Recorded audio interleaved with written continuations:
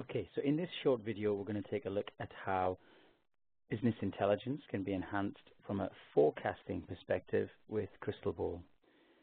So this particular data set, we've got um, two years, close to three years of historical data. This is actually um, revenue data for a particular product that's being sold, and we want to try and create a forecast for the next 12 months.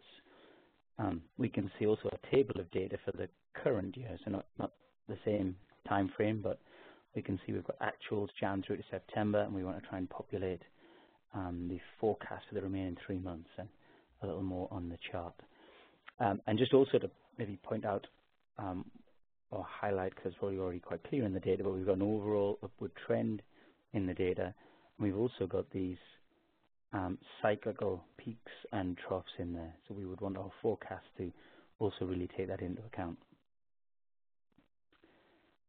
Okay, so I'm going to select this link to generate the forecast. I get a little message that pops up. This is my forecast is being generated. And I can actually see the crystal ball chart that shows me the forecast. So the green line is the historical data, same as we just saw a moment ago in the dashboard. The blue line then is the method that Crystal Ball has selected as being the closest fitting to that historical data. So this is using um, the ARIMA method. And we can see the forecast that it is generating forward for the next 12 months.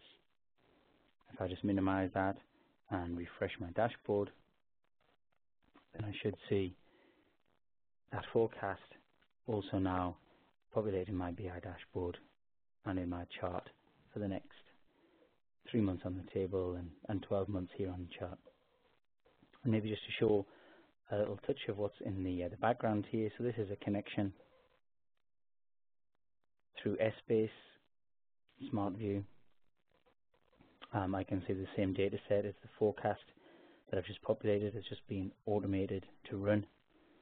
Um, also means you can, as an end user, we saw that ARIMA was the best fitting. We can look at the other methods that were tested and tried, and if for some reason the uh, the analyst wants to come in and change the forecast to this seasonal additive damp trend, seasonal additive, um, I override that, I can paste that. Instead, you should see these numbers change as I click OK. Perhaps difficult to spot because it uh, shifted. Um, but then if I click on Submit to get those numbers into the Essbase data source,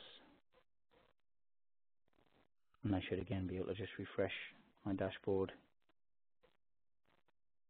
And a slightly different forecast is also now populated in here. So hopefully that gives you a, a, a good indication of how you can use Crystal Ball to, to generate some trends and some forecasts in, in business intelligence. Thanks.